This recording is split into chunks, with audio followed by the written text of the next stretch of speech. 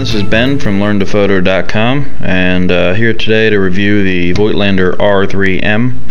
Uh, it's Voigtlander's all-mechanical rangefinder camera. They have a couple versions of this. Uh, they have an R2M which is the same exact camera except for it uses 35, 90, 50, and 75 millimeter frame lines. The R3M uses a 40 millimeter one-to-one viewfinder plus 90, 50, and 75. I opted for the one-to-one. Uh, shooting with one, both eyes open is, you know, painless because it's exactly where I would see anyway. So that works really nicely, and I like to shoot with both eyes open if possible. Camera itself is very high quality build, um, especially for the price. Um, it's the lowest cost out of the three major rangefinder camera makers, uh, the other two being Zeiss and Leica. Um, Zeiss makes the Zeiss Icon, uh, which is a nice camera, actually very nice, but it's all electronic and they do not make a all mechanical version.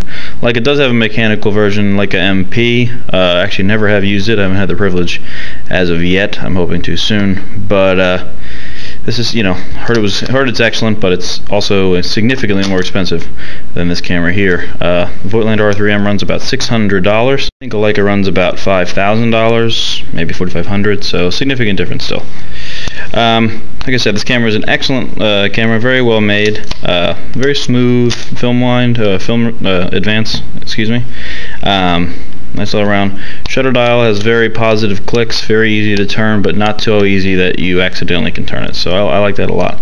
Uh, what I really like is this, uh, the rubber grip with the little raised area here. Um, it's great for, feels comfortable shooting, but also my favorite part is I do street shooting a lot, and carrying it uh, flat can get a little tired in your wrist. This lets me kind of just grab it like this and hang it from my thumb. Gives me something else to grab on.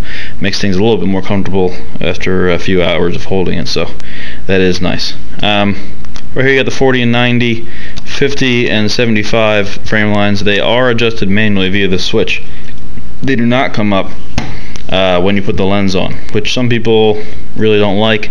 I don't see it as a big issue. Um, just don't forget. It's very difficult to forget um, because the 40 and 50 are the only ones that are even that close, and the 40 always has the 90 millimeter frame lens in the center. So as long as you remember that, you'll have no issues. I've never accidentally left it there, uh, one way or another. This is the uh, my best effort in showing you the viewfinder of the R3M. It's a pretty bright viewfinder. Uh, solid frame lines, the 40 millimeter on the outside, 90 in the middle.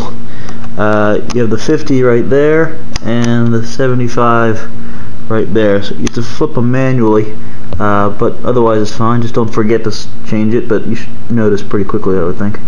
Um, right here, you'll see at the bottom screen this little red negative 2 in the dot. It's not that easy to see in this, but that's the exposure meter. Uh, as you change the aperture and shutter speed and things of that nature, it will uh, line up to create one single dot without any blinking.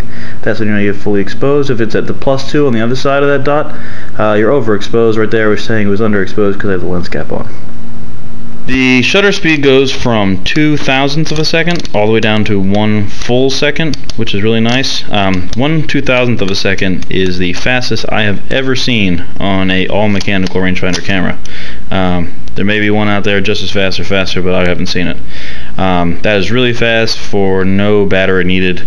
Uh, it's great for higher speed lenses. Uh, you get an extra stop in there, which works out really well sometimes for me. Especially, I have the uh, 40 millimeter Nokton 1.4 SC lens on here, and it goes down to 1.4. And sometimes I need that one 2000th of a second if I want to shoot wide open. Uh, look for this lens review, by the way, on the site at learntophoto.com. Um, anything else? This camera? Oh, yeah, the best thing about this camera, one of the best things, is you cannot accidentally open the film door. Uh, if you try to pull up the film winder here, it won't happen. There is a little lever right here that if you move, then the door will swing open. Then you can put the film in, get your film out, whatever you need, and close the door right back up. Pop that back down, and it's not going anywhere. That is really nice. Uh, should be foolproof. Uh, the, you know, unfortunately, I'm an idiot, so I actually have uh, opened this door accidentally, um, which is pretty much amazing. I don't know what happened. I wasn't paying attention to what was, what was going on, and I just was fiddling with it and managed to open the door. I did not ruin the film. Luckily, it only opened.